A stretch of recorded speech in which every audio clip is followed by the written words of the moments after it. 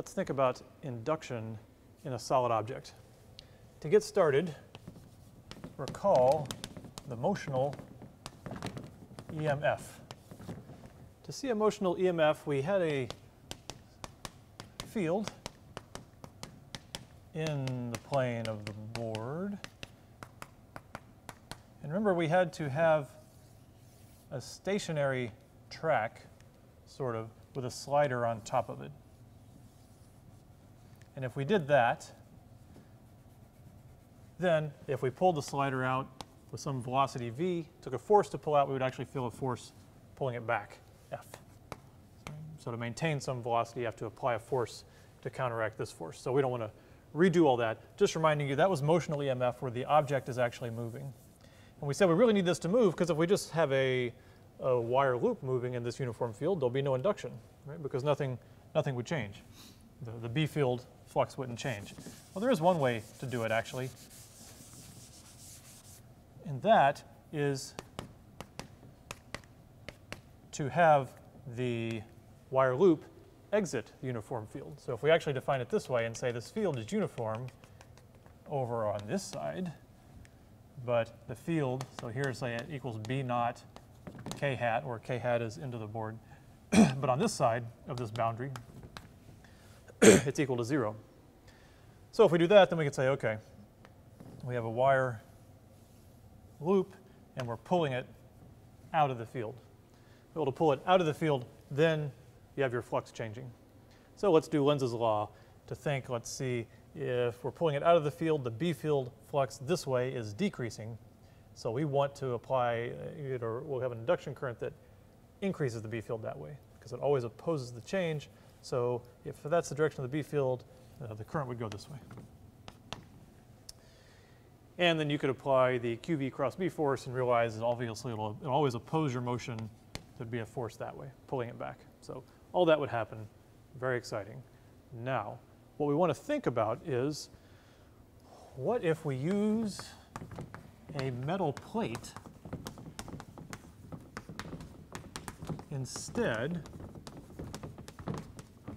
of a loop? That's really all it takes to think about this. So let's see, let's have our magnetic field in to the board. just like before. Let's have our imaginary boundary, or on this side, be a zero. On this side, we actually have a B field.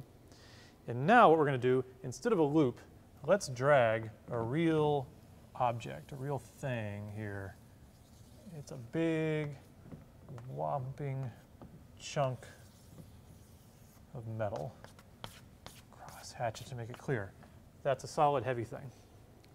We're going to drag this big piece of metal and pull it, give it some velocity going out of the board, or out of the B field. Well, basically, the same thing will happen. The current, you can imagine, this big piece of metal is a bunch of little wires, wire loops all stuck together.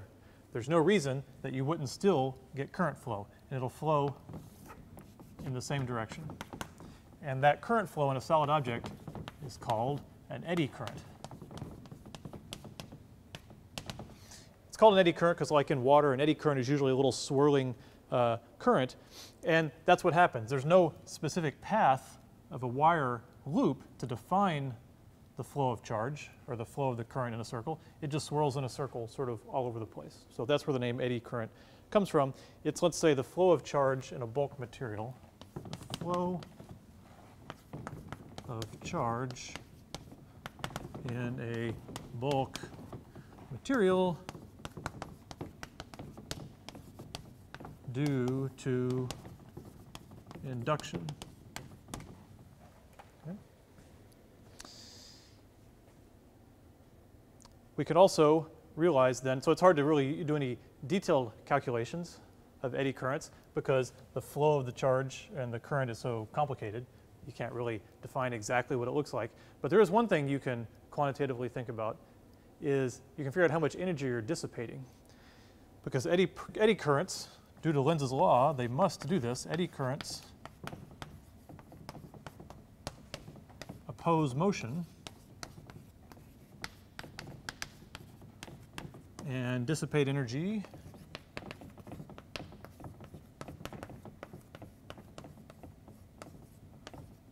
as heat.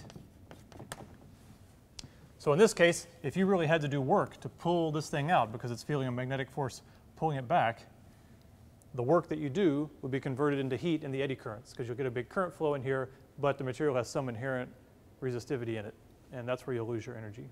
So eddy currents occur all the time. Sometimes you like to have eddy currents, they're used in braking. Sometimes you don't want eddy currents. Sometimes you'll have laminated materials and they laminate them, they put conductors between uh, layers of insulator so that to limit what the eddy currents can do. In this case, you want it laminated this way. Because if you limit how big these loops can be, then you'll limit how big of an effect the eddy currents can have. So just so you'll see it, I'm going to show you a couple of examples of eddy currents opposing motion.